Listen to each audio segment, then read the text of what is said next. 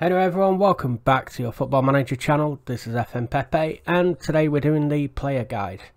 And we're looking at Arthur from Barcelona who in real life has just gone to Juventus for 66 million pounds. Now, he's valued at 45 million. 22 year old Brazilian has 15 caps to his name. He's on 99 grand a week. Why they didn't just make it 100, Lord only knows.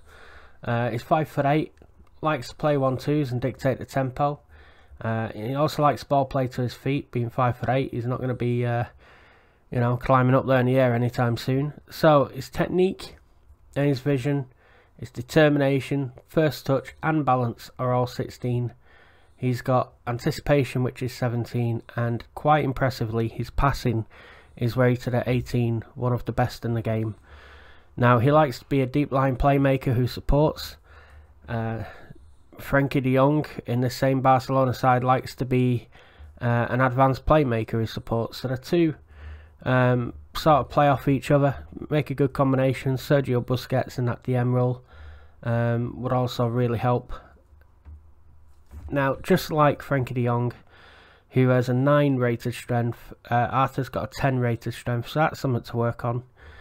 And his long shots are 10, his finishing's 10. He could probably improve on that a little bit and his marking's 10 that's you know again something he could improve on. He's only 22 uh, like Frenkie de Jong is. He'll probably improve um, a lot more.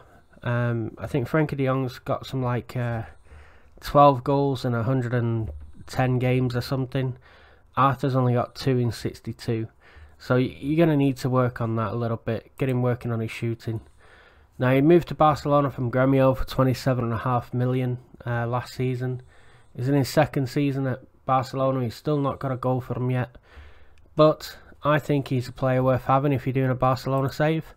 I also think if you're looking at bringing in a central midfielder you can develop, he's only 22 and his passing is 18 and his technique's 16 and his first touch is 16 and his vision's 16. As a midfielder, um, that's pretty damn good to be honest. It's well worth uh, having a little look at him. So I hope that helps. If it does, drop a like on the video. Make sure you subscribe. We've got plenty of other content on the channel.